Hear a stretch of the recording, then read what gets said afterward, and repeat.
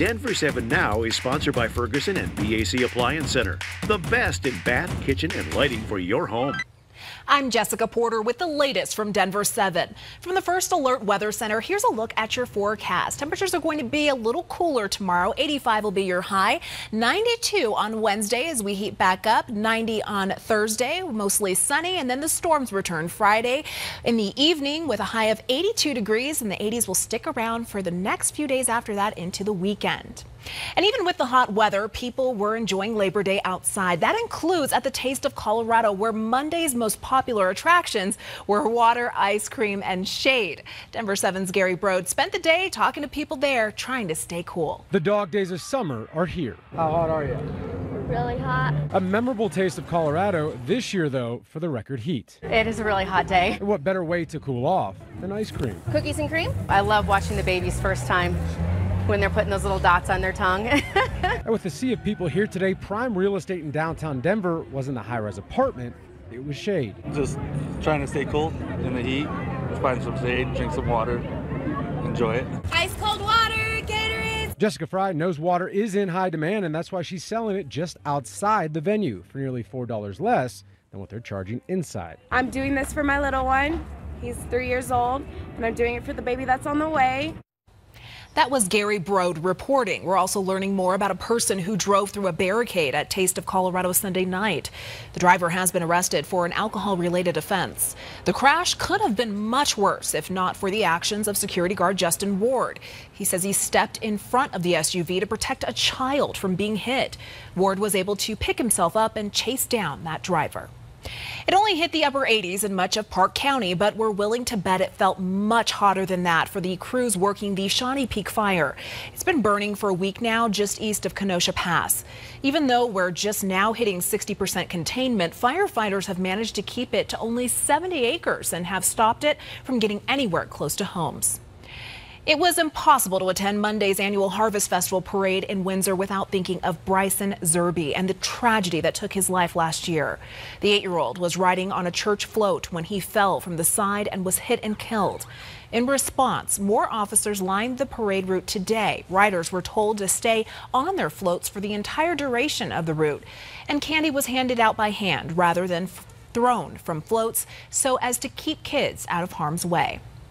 After decades of discussion and planning, the Jefferson Parkway project is on hold indefinitely. The 10 mile connector from Golden to Broomfield has been met by roadblock after roadblock. There are the neighbors who don't want to deal with the traffic and the noise. Then there's the property owner holding off on selling out the last piece of land needed. But the last straw proved, proved to be nearby Rocky Flats and a recent soil sample that showed elevated levels of plutonium. There have been soil samples done since the 1970s, which have all shown elevated levels of plutonium. What's going on here is people are arguing about what a safe level of plutonium is. And that's a ridiculous argument. Plutonium, the, the primary reason plutonium was created was to kill people. So why would we want to release any kind of plutonium what happens next will largely be determined by the findings and direction of the Department of Public Health and Environment. Even if it's decided everything is safe, it's highly unlikely, if not impossible, the project could break ground by next year as originally announced. Even as we stare down triple digit heat, the state is getting ready for snow. As of this week, people driving between Morrison and Dotsero are required to either have four wheel drive or all wheel drive with snow tires.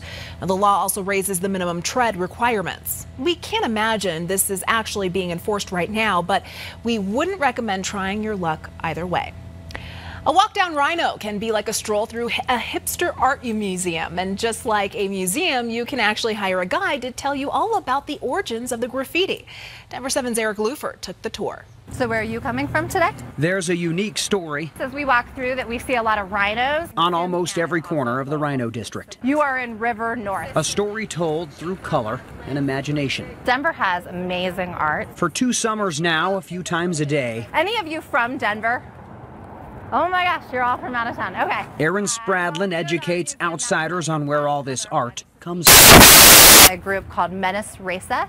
You can see them tagged up there. She's the co-owner of the Denver Graffiti Tour. We think it's a great experience for people to come in and kind of see this neighborhood and learn more about what's happening locally with our politics a little bit, and then also the art scene. The walking tour lasts about two hours. It's kind of cool that you see the respect that these artists have and not tagging other people's stuff. In an area that has been greatly affected by rapid growth. Where we're standing is pretty close to three homeless shelters, and so you certainly see an aspect of that on the tour.